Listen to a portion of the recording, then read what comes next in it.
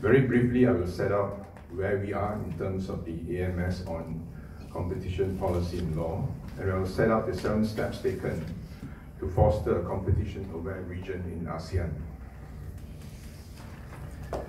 The progress of the CPL implementation in AMS has been positive. There are comprehensive competition laws in place in all nine AMS, with the exception of Cambodia, where its draft law is currently being deliberated at the Council of Ministers before elevation to the Parliament. Laos, PDR, and Myanmar obtained recent approval for the establishment of their respective competition commission, while Thailand is in the process of setting up its commission. Vietnam's amended competition law takes into effect on 1st July 2019, allows the creation of a single competition authority empowered to make administrative decisions, while Indonesia's amendments to its law, which enable stronger enforcement powers, are still pending in its parliament. Four 2019 priorities were identified, which are the development of a guidance document for peer review, a set of in-house, second, a set of in-house tools for training of competition agency staff, focusing on market studies. Third, a toolkit on national enforcement strategies, and fourth, a research paper on commonalities and differences in competition legislations in AMS, with a view towards developing strategies for convergence of legislation. To foster a competition-aware region, uh, we have strategic goal four, which comprise of initiatives to enhance the understanding of the public on the benefits of competition policy and law and ensure better business compliance. ASEAN also hopes to foster a good competition culture, including enhancing media's understanding of competition issues.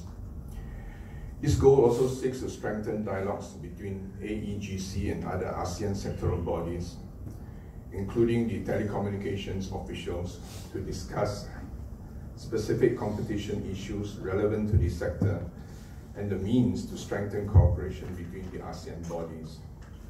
This is an important pillar of our work as we recognize the cross-cutting nature of anti-competitive conducts and the importance to build strong ties with other sectors to ensure effective compliance to the law. Uh, we have identified seven steps in which we have taken to pursue uh, competition advocacy. And these are as follows. I'll, I'll start by elaborating them uh, very briefly, each of them. The first is the AEGC itself has published a toolkit for competition advocacy in ASEAN to provide guidance to competition agencies on developing their competition advocacy plan, implementing advocacy activities, and monitoring and evaluating its advocacy activities. The second, the Competition Compliance Toolkit for businesses in ASEAN provides the basic principles of competition law, benefits of competition compliance, guidelines on implementing an internal competition compliance program in the ASEAN context, and awareness building guidelines for younger competition agencies. The third is the Handbook on Competition Policy and Law in ASEAN for Business, which aims to provide basic notions of the substantive and procedural aspects of competition laws in each AMS for businesses and relevant stakeholders.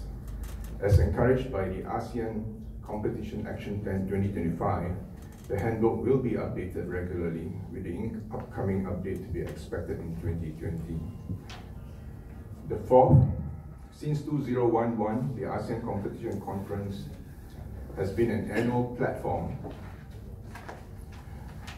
for competition experts and relevant stakeholders from within and outside the region to exchange developments as well as current competition issues and the possible way forward.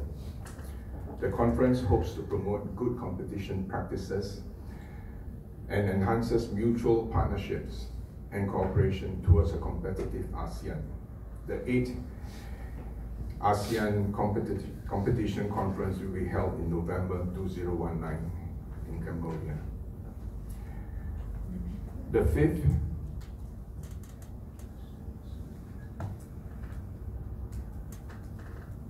to, to update the um,